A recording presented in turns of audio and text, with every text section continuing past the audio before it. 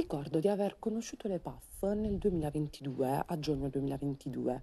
Ho visto mia sorella di utilizzarle e di lì ho iniziato anch'io e non le ho più lasciate.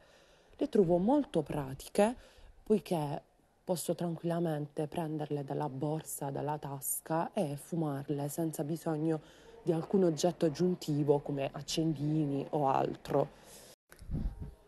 Però vorrei tanto smettere di fumarle.